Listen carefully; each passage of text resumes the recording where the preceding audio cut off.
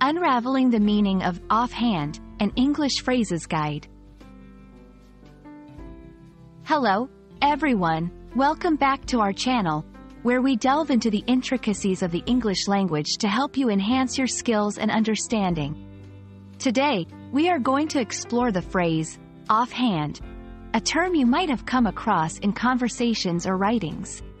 By the end of this video, you'll have a clear grasp of its meanings and how to use it in different contexts. So, let's get started. Offhand is an adverbial phrase that can carry different meanings depending on the context in which it is used.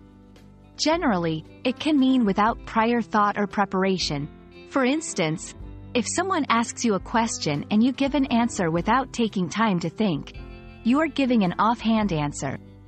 Example, I don't know the exact figures offhand, but I can look them up for you. 2.1 Casual and Informal Settings In casual and informal settings, offhand is often used to describe a remark or comment that is made without much thought, and can sometimes come across as careless or impolite. Example, he made an offhand remark about her dress, not realizing it would offend her.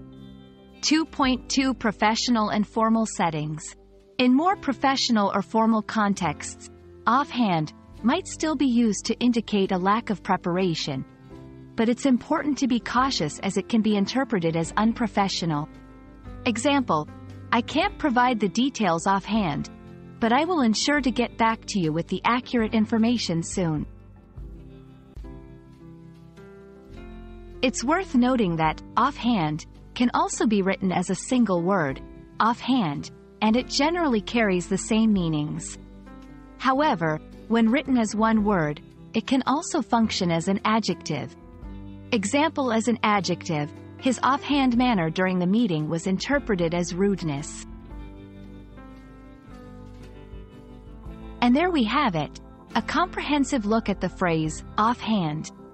We hope that this video has shed light on how to use this term appropriately in different settings. Remember, while it's a common phrase, being mindful of the context in which you use it can make a big difference in communication. Thank you for watching, and don't forget to like, share, and subscribe for more language learning content. See you in the next video.